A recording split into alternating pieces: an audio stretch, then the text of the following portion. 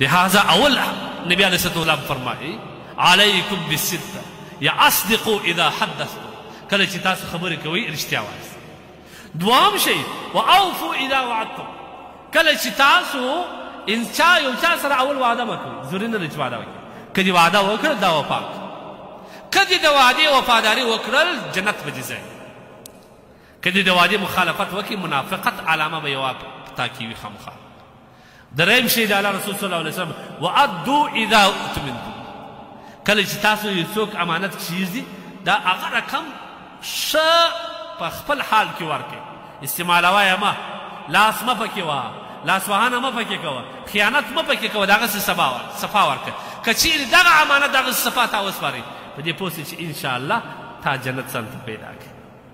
او څلورم شی، واحفظو فروجکم، خپل فرجو حفاظت وکړئ، د زنا نه ځان وساتئ، د لواطت نه ځان وساتئ، کوم ځوان چی د الله د ویری د زنا او د لواطت نه ځان وساتي، دا واورئ دا خبره ما مخکی هم درته ویلی، یو ځوان پر زنا طاقت لری، العیاذ بالله پر لواطت طاقت لری هیڅ شی نه وی،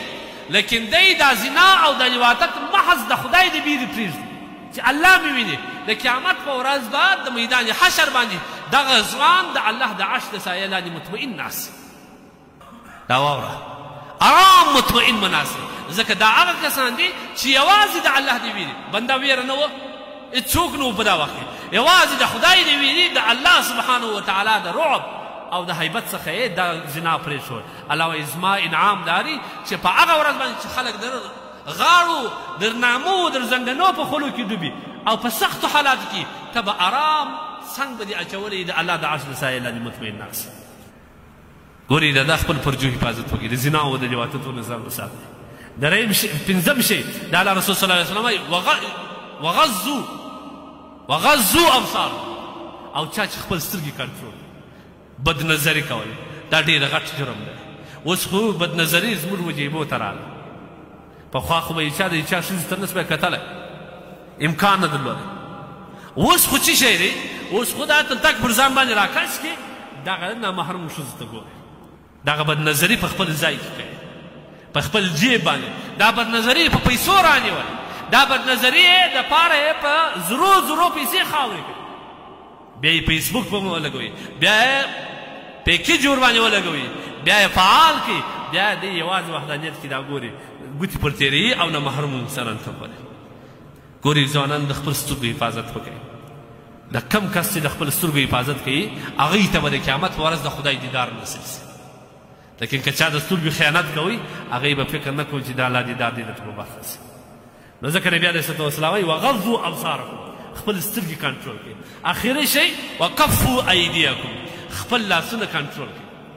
د مسلمان مال ته لاس مه وړه، د مسلمان عزت ته لاس مه اچوه، د مسلمان قتل ته لاس مه اچوه، خپل لاس په خپل کنټرول کښې کړه، که د دغه پنځو شیانو ضمانت د الله رسول صلی الله علیه وسلم ما ته راکړې زه به ان شاءالله د آخرت په ورځ د جنت ضمانت تاسو ته درکړم. اسانه ده، رښتیا ویل، د وعدې مخالفت نه کول او د امانت خیال ساتل او څلورم د خپل فرجو خیال ساتل،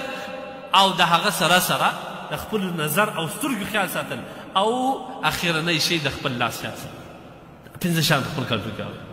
او ګوري کوم کسان چې وعده خلاف ورزي کوي دا نه معنی چې ما دې د سر تیر کړي نبی علیه الصلاه والسلام فرمایي د قیامت پر ورځ به هلته یو جنډه ولاړې دا ګده کسان به سوچ کې باندې چې دا جنډه چی ده بیا به یې اعلان وشي چې دا جنډه د دوکه بازانو ده، د غدر والا ده، چا چې په دنیا کې وعده کړې ده د خپل وعدې پاسداري یې نه ده کړې، دا نن د هغه علامه ده، د هغه کسان ده، هغه کسان دې پر اخوا باندې ورسي. لهذا زموږ نن په معاشره کې خلاف ورزي بیخي زیاته شوې ده،